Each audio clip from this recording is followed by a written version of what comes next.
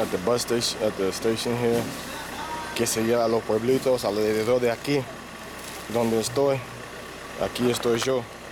Esta es la terminal de los colectivos, los transportes, las camionetas que se lleva a los otros pueblitos alrededor.